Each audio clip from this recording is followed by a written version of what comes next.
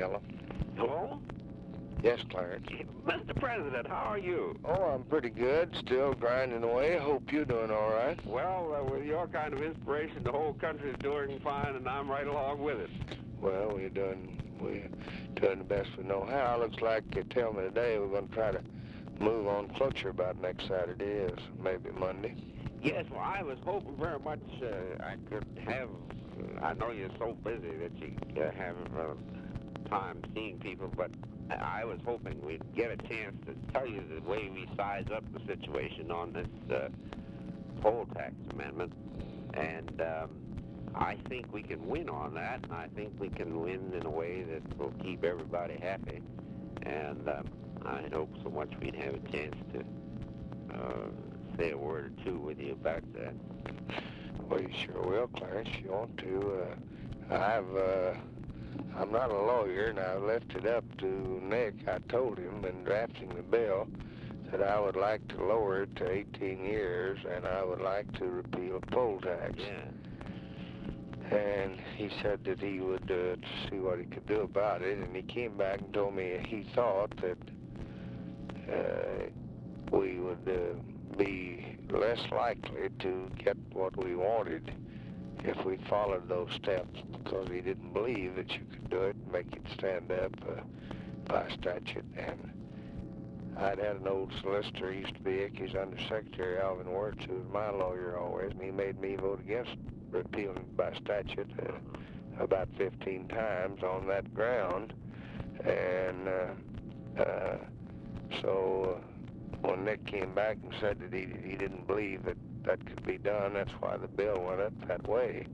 I would like to see it repealed if it uh, if it could be repealed. I was hopeful that that he and uh, y'all could get together some way and get something that would stand up and would satisfy his doubts and y'all's hopes.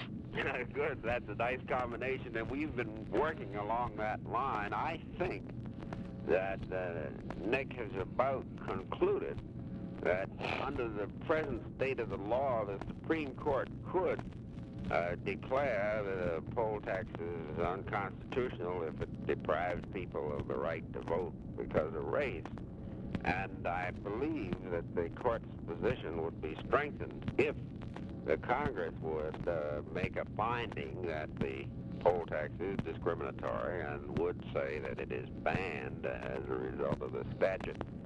Uh, I, I really don't think we'd lose on that basis. And uh, I, after all, nobody can know what the Supreme Court will do until uh, the case gets up there. But I think Nick has uh, uh, modified his position somewhat, and I imagine it wouldn't be too hard for him to come the rest of the way. There are a great many people up in Congress who uh, feel that uh, there's very good reason for getting rid of the poll tax by statute and some of them, uh, as you know, are good lawyers.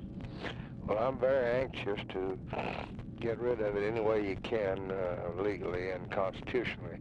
I'm in a pretty bunch of a box because uh, for 15 years I've been voting for the constitutional amendments, campaigning on radio and television. I bought $2,400 worth of time with Mr. Rayburn and I eight or 10 years ago, uh, trying to get Texas to repeal it. We lost. Uh, Yes.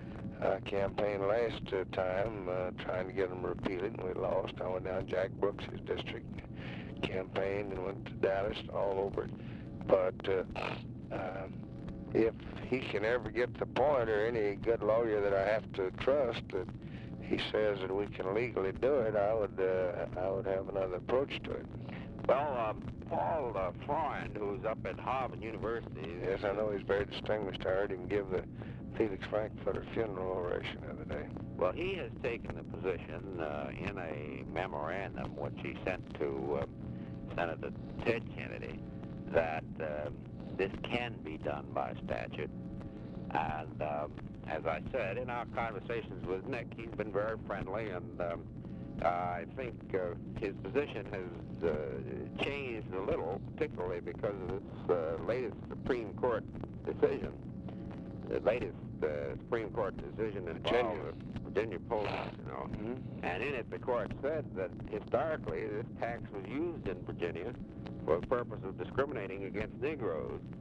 to me, that seemed like a pretty good signal that the court would uh, uphold a statute passed by Congress.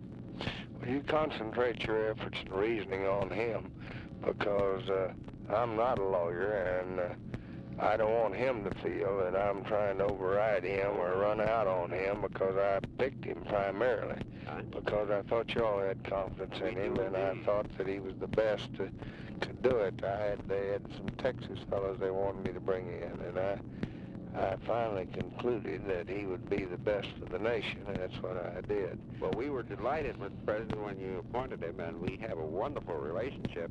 Our disagreements are intellectual, not uh, emotional. I know that. I know that. Uh, I talked to a fellow a while ago that I was quite impressed with. I asked him if he knew you, and he said he did, and, and I asked him if he knew you favorably. And he said yes, he thought that you, were friendly.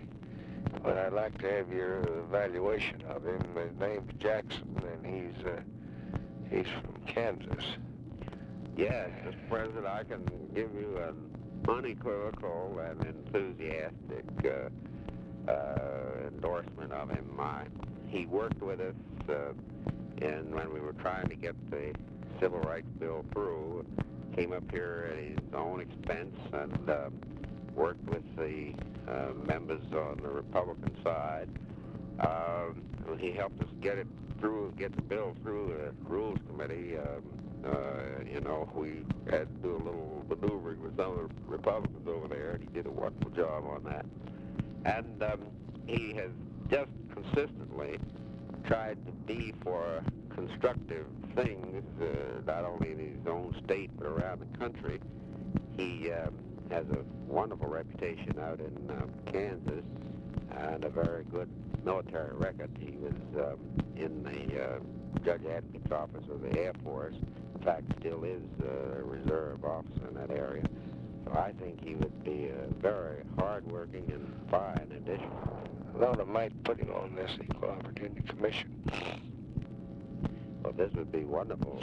I wanted Marjorie Lawson on there. I thought she was judicious enough and able enough, and I wanted a woman, and she doesn't want to take it.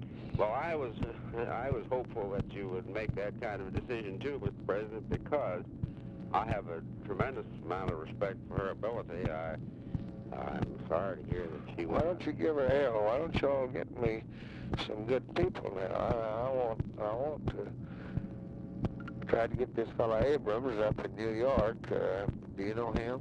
Yes, I don't know him well, but I know who he is. Well, he's exceptional, but he couldn't do it on account of his wife's health. I tried to get Marjorie. She can't do it. None of them won't do it. I've got to get some good people. And, uh, well, would you care to have me uh, call Marjorie? I just wish you would. I wish you just call her in and tell her you want to buy her lunch. Uh, and just say now, uh, you can't emancipate people unless you emancipate. You can't do it over here sitting on some judge. You come do this, there'll be something else come along a year or two. She'll want to be an ambassador, a judge, or something else. We're going to be here a while and tell her that you'll shove her for something bigger and better, but let's get this started off. Get it started off right. She's reasonable. She knows how to get along. She's uh, has my confidence, and I think she likes me. She's uh, worked on my equal employment committee for, for four years, yeah. and she was, uh, I thought, very competent. Well, I four or five people that I could put on. I got to have a woman. Yeah. I'd prefer to have a Negro woman. Wonderful. I would like to. I, I like Marjorie first. I'd like to take Patricia Harris, but I kind of thought I might get her some State Department because she's got such a hell of a legal background. Yes, yeah. She's got all every Phi Beta Kappa in the country and and all the order to coif and everything you got, and she would be could use there. I could take uh, Ms. Watson, who was on the employment committee in New York, husband's a judge. She's Yeah. not as aggressive as they are, but she was got a master's degree, and she was a she was a social worker, and she stands up and slugs and fights. So when you when you have to, she got me up time two, two o'clock in the morning, raising hell about things. Eh? They, they, one or two others I could take Edith Sampson out in Chicago. But Marjorie's really my pick, Well, I think And- that's a wonderful pick. And I, but I can't get her to do it. well, uh, I certainly don't think there's anybody in the country more persuasive than you, but I'd be happy to make another try at it. Take her to lunch tomorrow, or go see her, and tell her that I was talking to you on some other matters, and I told you I was disappointed in her. I thought she'd take this to get started off, and then go to something else. She doesn't have to live with it a lifetime. We just the first year is going to be the real test, and we got to have people that can be firm and fair and uh, diplomatic enough not to just uh, uh, have the roof fall in. And she's got all those qualities. Well, I agree with you. And, you know, I've been hoping to tell you about a wonderful experience I had in uh, Texas, which shows how people can uh, change. I was down in Longview about uh, two or three weeks ago at a Freedom Fund dinner of the NAACP.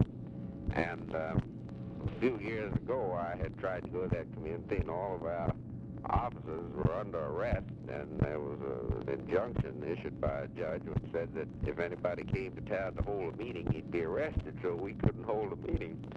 And I was uh, talking about this in my speech and saying how wonderful it was that times have changed. There was a judge sitting next to me, and somebody told me afterwards that this was the same judge who had uh, tried to put us in jail before. the law that One, one Otis Dunagan, was it? I forget what his name. He's a young fellow and very pleasant. And I Otis Dunagan, he tried to put me in jail in 1948 when I beat him, but uh, the state district judge. Yes, I think yeah. There only seemed to be about One, the federal judge, was Oh no no no, he was. Yeah, he, that's Otis Dunagan. He, well, that's that's the problem. You think about that and call me back, and I'll do it, Johnson. And you, uh, you all talk to Nick, and I'll talk to him tomorrow and see what we can uh, do there. I don't want to go over his head. I don't want the poll tax. I told him I didn't. I said I've been against it all my life. I'm against it now. I want to repeal it any way you can repeal it. Well, I think that uh, we could work out a little formula that would be a graceful way of doing this and not hurt anybody's feelings. It's not going to hurt mine if they put it in. No, I didn't mean you. I meant Nick and others who might have uh, had different conclusions. Uh, I I know that. I just don't want them to ruin the bill, that's all. No, and we don't either. The Lord knows that because we're so happy the way you've taken hold. I was up there that night. I don't know whether you heard all that loud applause, but I was up there clapping. Well, it sure did. Sure did. Well, it, there never was a better evening for us than that one, was it? really great, yeah. The timing was right, too, wasn't it? I thought so too. But the thing that amused me was, uh, you know, uh, some of these people were supposed to be such uh, segregationists, Senator Ellen and others. I noticed they were the first ones to uh, slap you on the back and congratulate you. They were, I think they meant it. Well, God bless you. You let me hear from you. All right, Mr. President. Thank you.